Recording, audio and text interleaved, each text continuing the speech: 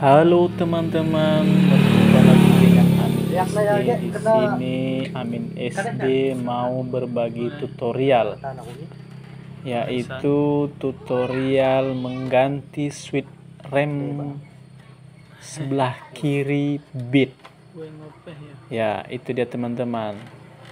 Jadi switch rem sebelah kiri itu ketika kita mau starter dia nggak hidup teman-teman dia nggak hidup kalau kita sudah menggantinya maka dia akan hidup. Jadi baterai itu kan baru. Namun ketika di starter dia nggak mau. Maka kemungkinan besar itu switch remnya sudah rusak barangkali teman-teman atau sudah longgar dia. Kita lihat sama-sama teman-teman kita buka baut handle-nya karena di situ dia berkat tuh pakai handle, yuk. switch remnya Ini ke na, Handle lah tuh. handle na agak na tu. Masa sekali ada dia. Tapang ya kan. Nah, sekali kita buka. Weh. Aksesoris bisa mang masuk. Sore bisa. Maksudnya sekalian terus baik. Weh. Agak agak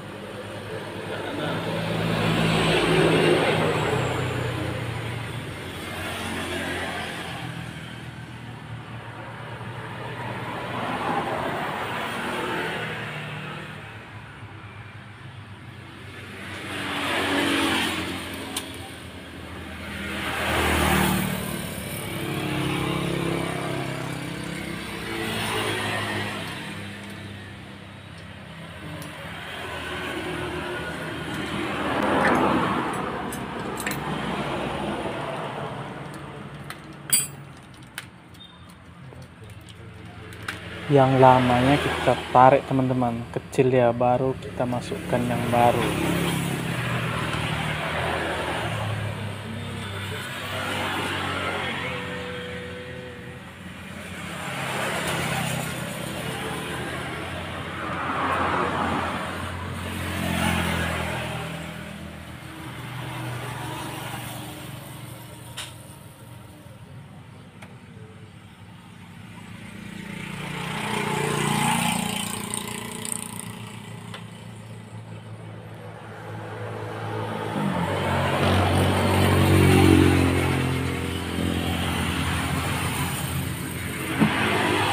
terkadang itu dudukan yang lama dengan yang baru berbeda dia.